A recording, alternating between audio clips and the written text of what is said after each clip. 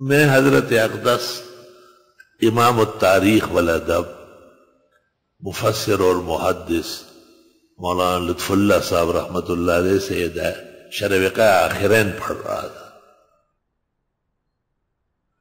تو جب غلامان آئے تو مولانا نے کہا کہ مڑا غلاما ملامن مجھ سے اس مکہ غلاموں کا دور گزر چکا ہے۔ تو ہمارے استاد مولانا عبد الحنان سے کے مشورے سے میں وہاں پڑھ رہا تھا۔ ان کا ان پر بہت بڑا اعتماد تھا۔ تو فرمایا کہ الحاقن جو مسائل آتے فقہ میں وہ رہ جائیں گے۔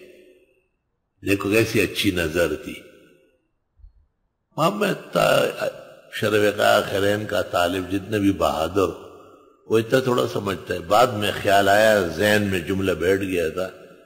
کہ بھئی کچھ مسائل ایسے ہیں جو انہی غلامان کے ضمن میں بیان ہوں گے اور وہ دوسری جگہ کارگر ہوں گے۔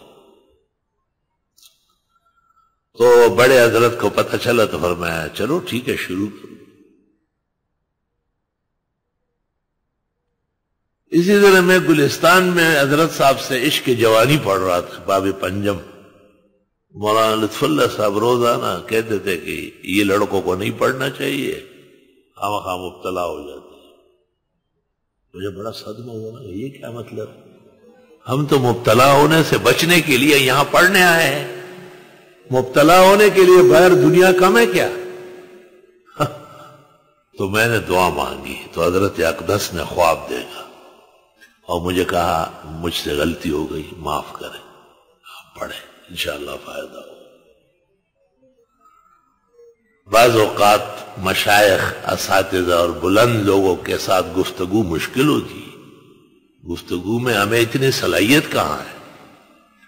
پھر اللہ تب تعالیٰ سے مانگا جاتا ہے کہ ان کا دل و دماغ صاف ستھرا ہو۔